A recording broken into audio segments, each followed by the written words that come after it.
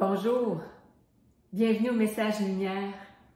On se présente, Nathalie. Alain. Nous sommes membres affiliés de la famille Myriam. Nous sommes mariés depuis 29 ans bientôt et nous avons cinq enfants.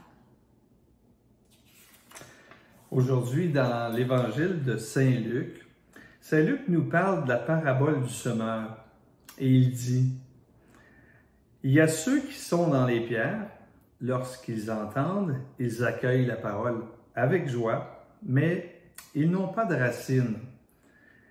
Ils croient pour un moment et au moment de l'épreuve, ils abandonnent. En parlant d'épreuve, on, voulait vous partager, vous raconter ce qui nous est arrivé cet été. On préparait depuis six mois un voyage pour euh, l'Europe et euh, on avait discerné humblement que c'était la volonté de Dieu. Et notre départ était prévu le 14 juillet. Mais voilà que on apprend le 24 juin que le plus vieux de mes fils, Sébastien, âgé de 46 ans, a fait un AVC et est paralysé du côté droit. Puis, une semaine plus tard, je fais une mauvaise chute à vélo et je subis une chirurgie au coude le même jour. Juste avant l'opération, je demande au chirurgien est-ce qu'on va être capable de faire notre voyage quand même? Mais il me recommande fortement de ne pas y aller.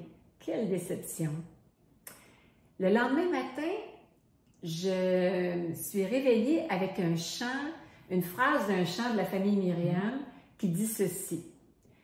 Je te fais confiance, ô Seigneur, tu es sagesse dans nos vies, dans ma vie, dans nos vies. Et ce matin-là, j'ai fait mon oraison rencontre, comme on dit dans la famille Myriam, ou mon temps de prière personnel. Je l'ai fait avec ce chant-là et en regardant le mur de l'hôpital où il y avait un crucifix. Et à la fin de mon oraison rencontre, j'ai dit au Seigneur, Seigneur, je comprends pas. Je comprends pas ce qui nous arrive, mais je te fais confiance. Ben, il va sans dire qu'on était toutes les deux très déçus. Euh, on avait accepté d'annuler notre voyage. Ben, on a compris par cet événement que Dieu voulait qu'on s'occupe de Sébastien. Il avait particulièrement besoin de nous pour euh, son soutien moral. Évidemment, c'était une grosse épreuve à 46 ans, euh, AVC, paralysé. Euh, on a fait, on a pris, on a laissé tomber nos vacances, puis durant nos vacances, on l'a aidé. Il y avait des besoins de toutes sortes. laver le linge, il, manquait de linge. C'est parce que dans, ce qui était arrivé, c'est que pendant cette période-là, il a été transféré hein, de l'hôpital oui au centre de réadaptation, puis on n'avait pas prévu ça, mais eux, ils demandaient de lui acheter du linge, de lui laver son linge, puis il aurait été bien mal pris si on n'avait pas été là, de demander ça à quelqu'un. Hein. Évidemment, se retrouver dans, à 46 ans d'un hôpital, d'un centre de réadaptation, c'est pas facile à accepter. Non, puis en même temps aussi, il faut dire qu'on a été bénis dans notre décision parce que quand on a annulé le voyage, tous nos frais ont été remboursés, ou à, peu près là, euh, presque tous les frais ont été remboursés.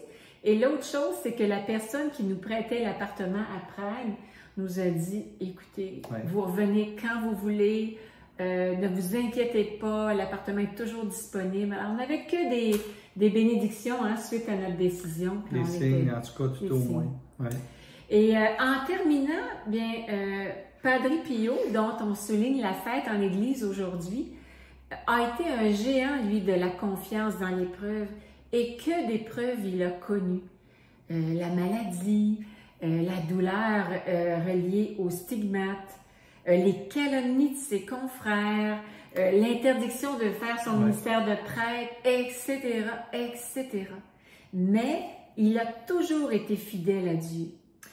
Il écrivait en 1934, Dans les moments tristes, priez encore, du moment que vos pleurs soient des pleurs de confiance, car les larmes que Dieu fait couler sont un prélude au torrent de délices qui les submergeront.